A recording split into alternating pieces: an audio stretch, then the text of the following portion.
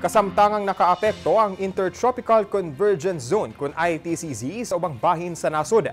Hinoon sa dato sa pag-asa walay gilaumang weather disturbance nga posibleng makaapekto sa PAR. Sa musunod nga duha hangtod sa tulo ka adlaw, ang Zamboanga Peninsula makasinati sa mapanganuron nga kalangitan. Inubanan sa katagkatag nga pag-ulan ug pagpanalugdog tungod sa ITCZ. Ang ubang dapit sa Mindanao posible sab ang localized thunderstorms pag-abot sa hapon o gabii. Samtang hapsay nga tuna sa kasarangan ang pagbalod sa kadagatan.